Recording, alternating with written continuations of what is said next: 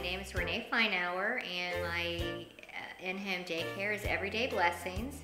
The ages that I serve is from birth to five years old. I have 166 hours of training. In addition, I went ahead and, and um, obtained my CDA through 4Cs, and then I went on to, to receive my director's credentials. It's been good, but it, it is it is a business. I mean, you wear all the hats.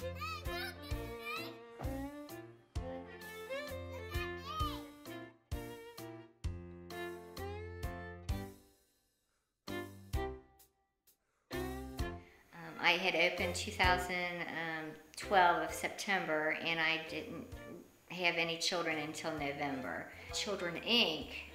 They're the ones that actually sent me the children and has been very instrumental in that. They helped me set up the USDA um, food program.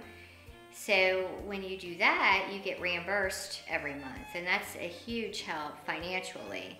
And then also assessing the children, um, getting them kindergarten ready, and this is something that you know Children Inc.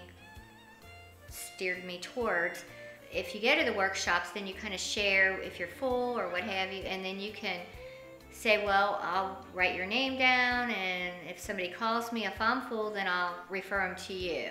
Um, I rely on, you know, Children Inc. and 4Cs, and I wouldn't even begin to start a business like this without their help.